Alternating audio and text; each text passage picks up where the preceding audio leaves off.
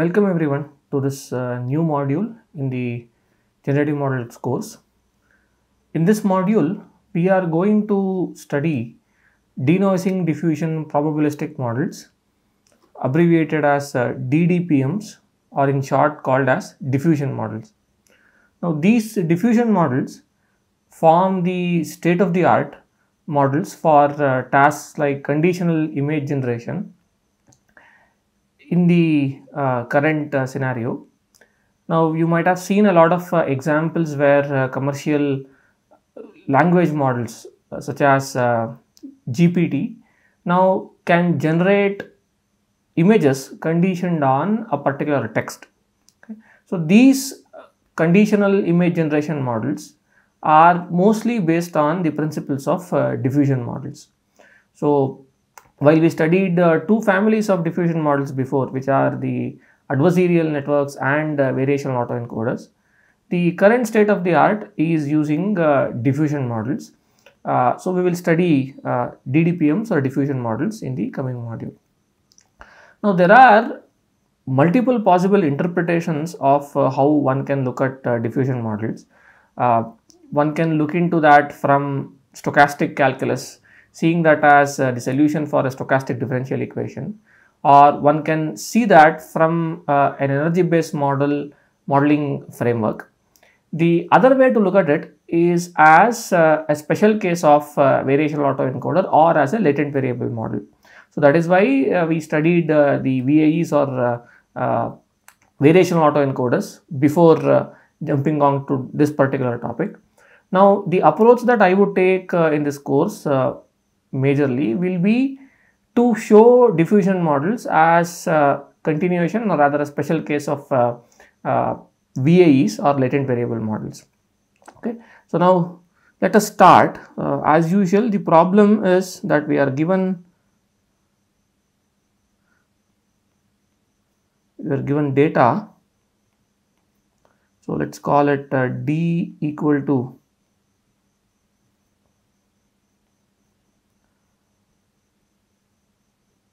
x naught x1 x2 up to xn. This is sampled IID from an unknown distribution px so this is the usual problem setting that we have. Okay. Uh, now the goal is as usual to learn to sample We need to know how to sample from the unknown distribution px. Now this is the uh, generative modeling problem, right? This is the generative AI as they call it. This is the generative model modeling problem. Now DDPM tackles this problem from a latent variable model perspective, uh, the usual latent variable models that we saw. So if you recall uh, in a VAE, so I would like to see DDPMs, DDPMs are are latent variable latent variable generative models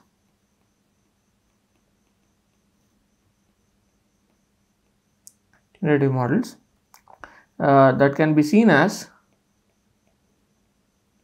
special cases of these family of uh, models called hierarchical VAEs.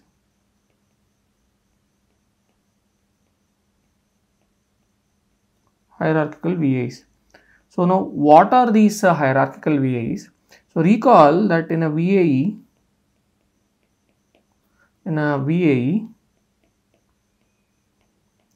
so broadly what is the idea? The idea is that we start from the data space X, right, and project the data onto a latent space that we denoted by the variable z and then you get back to the data space. So, now this was the encoding process where uh, there was a projection from the data space to the latent space and we had a decoder okay or the decoding phase where the data was projected from the latent space back to the data space. So, this was broadly what uh, is done in a VAE by minimizing the evidence lower bound.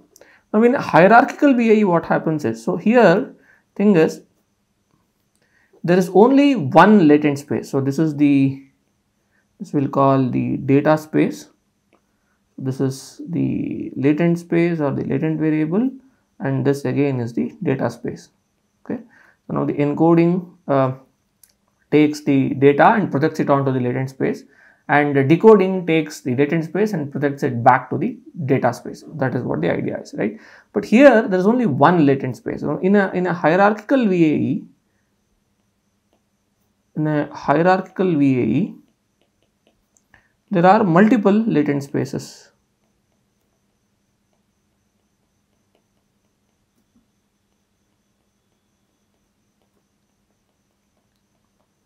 Unlike in a VAE where there is only one latent space, in a late, uh, in a hierarchical VAE there are multiple uh, latent spaces in a hierarchical manner which means that data is first projected onto the first latent space and from there data moves to the second latent space and then to the third latent space and so on and we have uh, up to capital T number of uh, latent spaces. So, this is the, the encoding procedure and decoding just reverses what it is.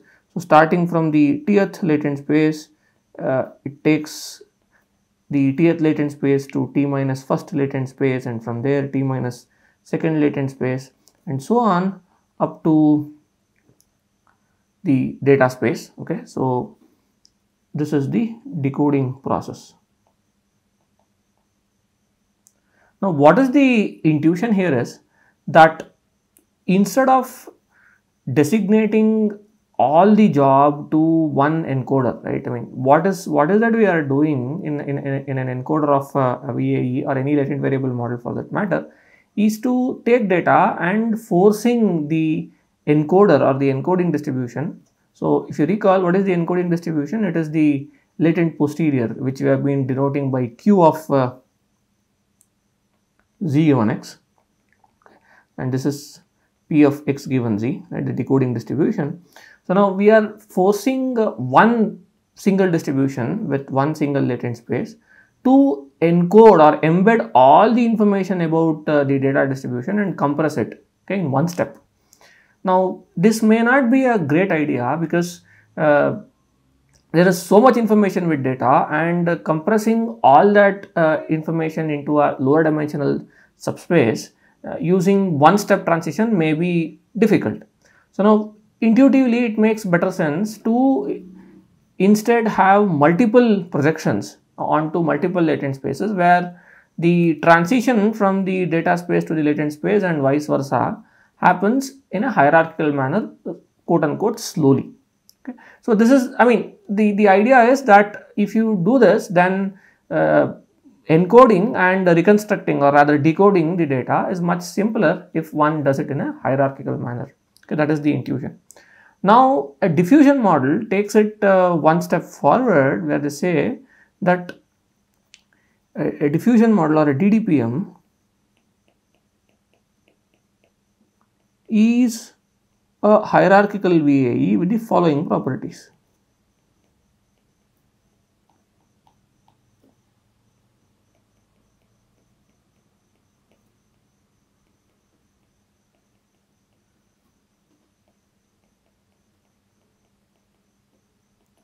Suppose we impose uh, these properties in a hierarchical VAE, this is how we are going to get. So, we have uh, the first property is that of course there are uh, multiple latent spaces.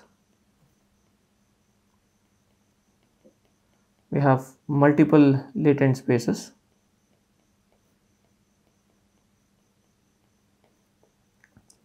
The second property is that typically in a VAE, the dimensionality of the latent space is much compare uh, much less compared to uh, the dimensionality of the data space. But in a in a DDPM or a diffusion model, the dimensionality of the latent space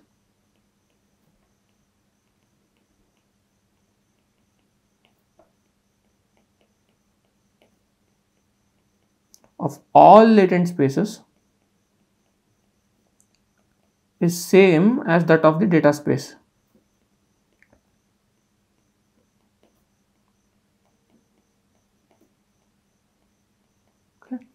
this is another special property of a DDPM which means that I'm saying the dimensionality of the latent space is equal to or rather let the other way around the dimensionality of the latent space all latent spaces are equal to the dimensionality of the data space for all t the first there are multiple latent spaces let's call them z1 z2 up to we have zt right and the dimensionality of the latent space is equal to that of the uh, data space. And now why that is uh, that's a good thing to do? It's because again in a VAE uh, when we are compressing when you're projecting data onto a lower dimensional space there may be loss of information and you know, we rather don't want to do it. So we match the dimensionality uh, of the latent spaces to the data space. You know, that is uh, that can be a vague or rough intuition so as to why this may be important. The third thing that is done here is the encoding process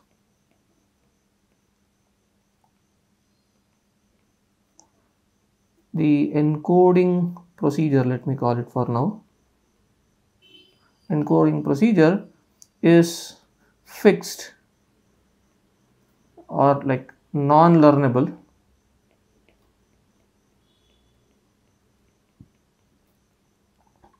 unlike in a VAE or a hierarchical VAE where the encoders are learned. So, unlike a VAE or a hierarchical VAE. Now, if you recall in a VAE, the encoding uh, was represented using a probabilistic neural network, right. So, this is, so phi is a neural network that is learned, right, that is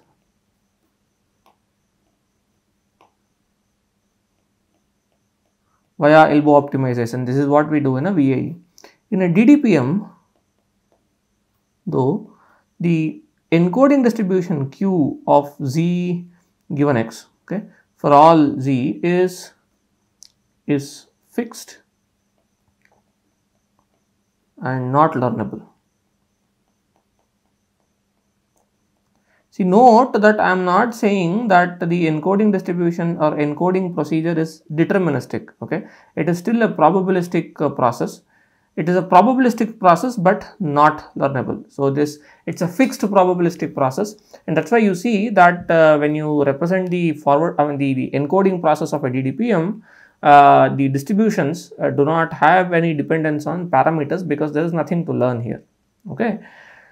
Now, in a DDPM, what is learned is only the decoding process is learned, right? Encoding process is not learnable, but the so here I'll, I'll write it separately. So, in a VAE, both encoding and decoding process I mean, procedures are learned. Both encoding and decoding are learned.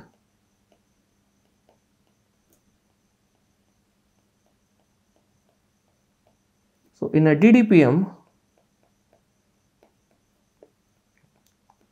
only decoding is learned.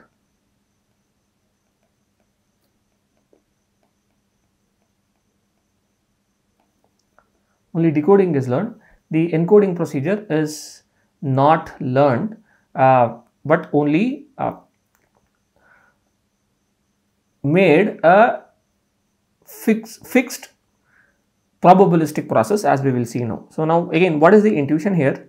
The lot of uh, the background comes from the stochastic differential equation theory, okay, uh, where the idea is you know imagine that what are we what what are we trying to build here? We are trying to build a generative model, right? A generative model is one that would take an arbitrary distribution which is the latent space and projects it back onto the data space okay which means that no matter what sort of encoding process is there, if we can somehow reverse that en encoding process, then we are then we already have a generative model with it. So we don't have to necessarily learn the encoding process because all we need is, I mean, in, in, a generative modeling setup, all we need is to start from the latent space and get to the data space.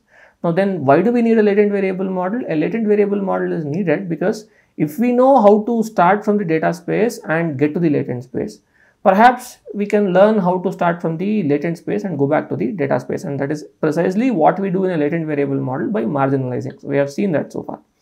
Now, while encoding is necessary, there is no, there is no, uh, intuitively there is no strict necessity that the encoding process has to be learnable, okay.